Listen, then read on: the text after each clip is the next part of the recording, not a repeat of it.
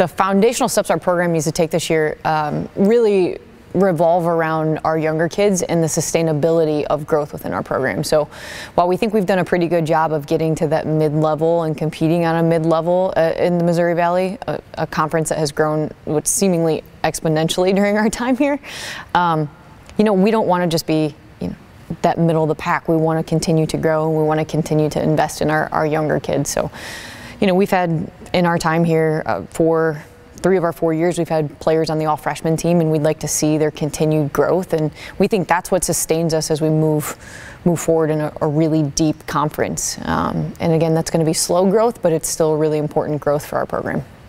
Yeah, it, I don't think it's anything that we explicitly talked about. You know, being more focused on the road as being you know focused at home i think that there are just some factors that we can better control on the road. You know we're together the entire time. Their class schedules.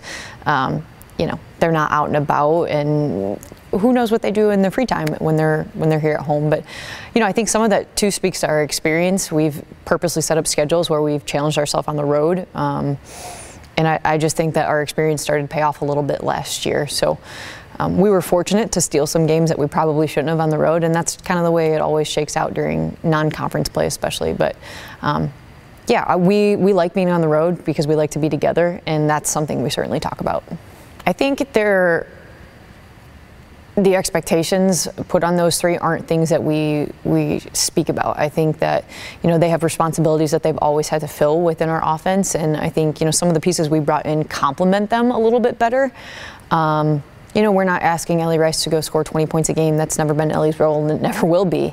Um, but I do think Allison Day is ready to take a leap. I think she started pretty well at the beginning of last season, hit a little little spell and then finished the season really strong. I do think, you know, she's one of the better returning posts in our league. Um, I just think that, you know, with growth and maturity, you know, you combine those things with experience, that's a great formula. And I think their experience and their maturity is going to pay dividends for us. Now, I don't know what that looks like in terms of wins and losses, but when you talk about that foundational growth of a program and how important they are to our younger players, I think that's where we're going to see. Um, you know their roles really expand and the expectations that we talk about with them that's that's where we're going to be very clear